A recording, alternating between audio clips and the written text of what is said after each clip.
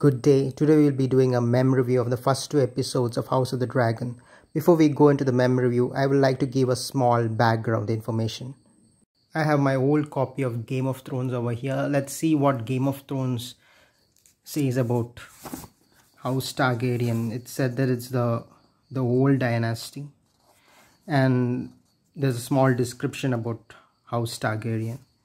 The Targaryens are the blood of the dragon descended from the high lords of the ancient freehold of Valyria, their heritage proclaimed in a striking, some say inhuman beauty, with lilac or indigo or violet eyes and hair of silver gold or platinum white. Yeah, that's what we saw with da- uh, Daenerys.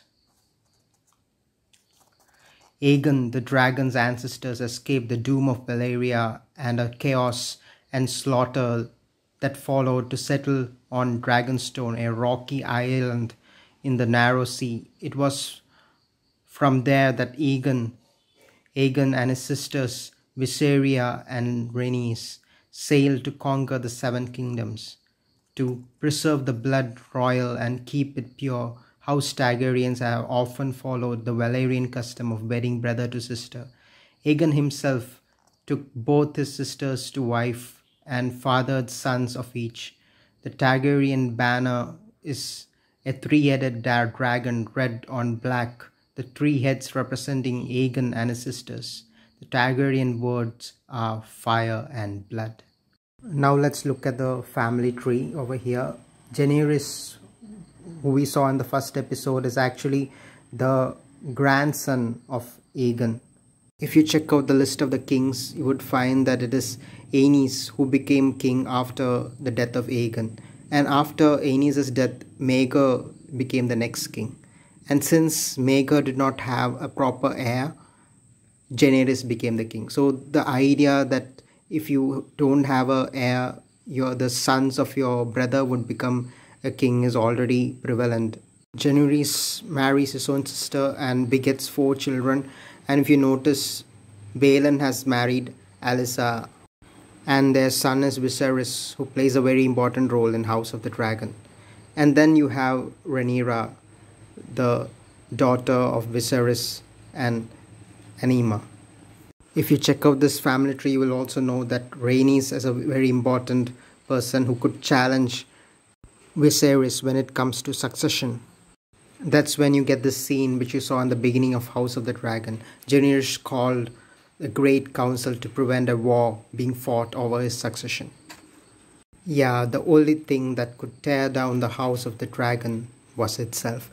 The exposition that we find in the first episode of House of Dragon is just brilliant. You get to see all those characters, you get to see their history, their motives, and the scenes are taken so beautifully and you get the famous tournament scene which is intercut with the labor of Aemma and that's actually a painful scene and it's quite thrilling at the same time.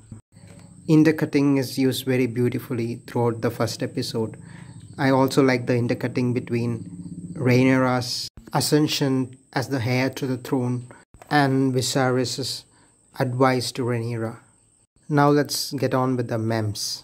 Milly Alcock has done a great job as Rhaenyra and her performance actually elevates the first two episodes and her famous saying, when I am queen, I will create a new order, questioning the order of things, actually gives us the vibes that she means business. The actor who plays Viserys also does a very good job and you're reminded of Ned Stark from G- Game of Thrones season 1 when you think of Viserys. Actually, he is a man of wisdom and a man of justice, yet he is a misfit in the world created by George R. R. Martin. Here, a quest for justice or being a wise man, being good, being virtuous doesn't actually matter you must sometimes be bad to be good. That's what works in the world of Game of Thrones. Daemon is a character that actually knows this. Now, Daemon is getting a lot of fans in the internet. People are wondering whether he's a good guy or a bad guy. But there is something about him that's very attractive that makes people believe that he's going to win using his sly and cunning tricks. Another thing I noticed in the internet is that Daemon is getting a lot of male fans, the same way Rhaenyra is getting a lot of female fans. But who knows, the opposite can also be true. By the way, I'm a big fan of Rhaenyra. I felt the same while reading the book too. Though the show has made a lot of changes from the book. I think those changes are all for the good and it will work out quite well for Rhaenyra and she will get more fans in the future. But for some reason, my second favorite female character from House of the Dragon has to be Alicent Hightower. The things she achieves just with a history book is just amazing. The emotional scenes that she has with Rhaenyra in the second episode was actually quite good and well done and we were able to empathize with both these characters after this scene. Such a scene does not happen in the book because Rhaenyra is way younger in the book. I also feel sorry for both of them because we know those who have read the book know what is going to happen to them and we all know the story of the dance of the dragons. We also hope that Daemon had someone better to argue his case before the king instead of pissing off the king every time. He also needs better advisors because most of the things he does are quite stupid from one perspective.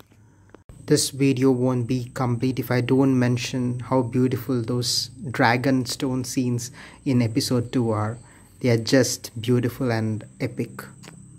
Hope House of the Dragons keeps us excited in its coming episodes. Thank you.